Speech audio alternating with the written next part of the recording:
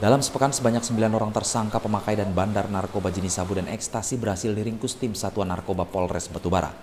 Kesembilan tersangka tersebut ditangkap petugas di tempat yang berbeda. Satu dari sembilan tersangka yaitu tersangka BFL alias BD warga desa Simpang Gambus Batubara terpaksa dilumpuhkan petugas dengan timah panas di bagian kakinya karena hendak melukai petugas dengan sebilah pisau saat akan ditangkap.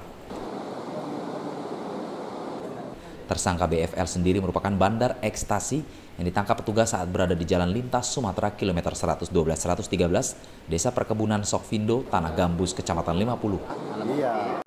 Dari sembilan tersangka tersebut, polisi berhasil mengamankan 55 butir pil ekstasi, sebilah pisau, dua unit handphone, serta 6,8 gram narkotika jenis sabu. Menurut Kapolres Batubara AKBP Robin Simatupang, selama ini polisi melakukan undercover dan memancing tersangka untuk bertransaksi.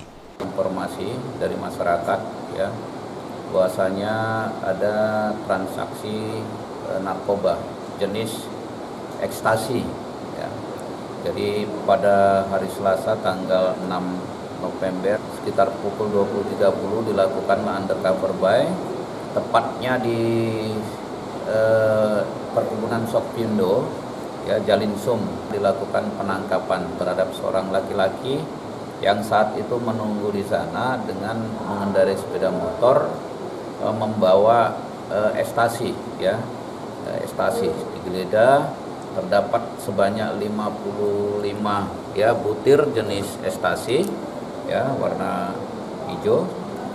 Nah, kemudian dilakukan penangkapan. Ekstasi ini didapatnya dari seorang laki-laki berinisial eh, N ya, N. Eh, N ini kerja di peternakan buaya ya di eh, Kampung Gambus sana. Ini lagi didalamin orangnya lagi didalami lagi dikejar. Saat dilakukan penangkapan dia membawa senjata tajam. Ya di pinggangnya ada senjata tajam. Ini senjata tajamnya.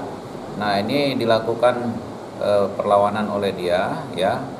Mau menyerang petugas dan dilakukan e, melumpuhkan Sembilan tersangka kini diamankan di ruang tahanan Polres Batubara dan untuk tersangka bandar narkoba dikenakan pasal 114 ayat 2 Undang-Undang Narkotika Nomor 35 Tahun 2009 dengan hukuman minimal 6 tahun dan maksimal 20 tahun kurungan penjara. Dari Sumatera Utara, Soleh Pelka Tribrata TV, Salam Tribrata.